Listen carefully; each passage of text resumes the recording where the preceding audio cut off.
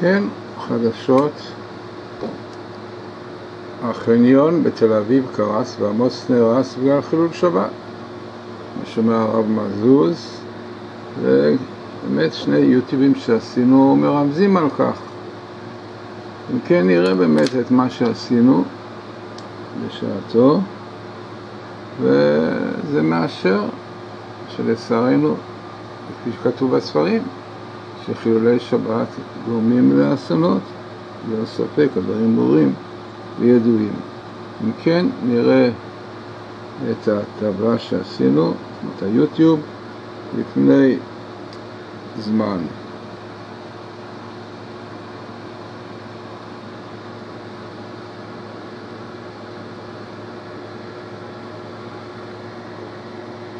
פרס ברמת החייל שבתל אביב, לצערנו טרגדיה קשה, וכפי שאומרים, עדיין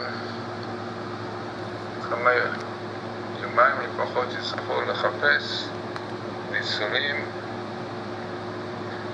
בכל זאת, כידוע, מאורעות שקורים בחודש אלול, כפי שכתוב בספרים, צריכים לעורר אותנו לתשובה. כן, כך כתוב בספרים, הרבה מאורעות קרו בחודש אלול. מדברים כמו מלחמת העולם השנייה ורעידות אדמה קשות בטורקיה, הרבה מאורעות וולקנים שצריכות לעורר אותנו לתשובה לקראת אלול. וכן חיפשנו מהתורה היכן מופיע החניון שקרס. כמובן שחיפשנו בספר דברים שזה כנגד האלף שלנו, כפי של חניון, רואים פתאום על חניון, שקרס, קרס, חניון קרס. כמובן חיפשנו את התשע"ו השנה הזאת עם חודש אלול, מעניין שלא הגבלה יצא חודש אלול.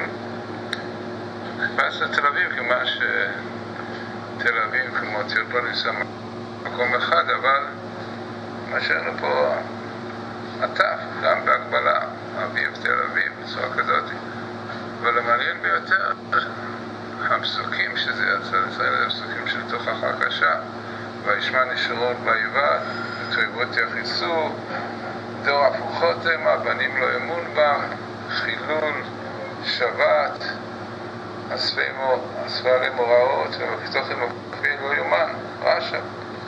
אם כן, טבלה גם מצומצמת מאוד, רק בשלוש אותיות, וטבלה. ללא ספק, לצערנו, תועבות כנגד התורה נעשים שם. מצד הגאווה בתל אביב, ידעות תועבות גדולות. יחד עם זה חילולי שבת, מה שמופיע פה, חילול שבת, שבתות יותר ויותר לאחרונה. ככה שמאורעות כאלה צריכים שעוררים אותם לתשובה.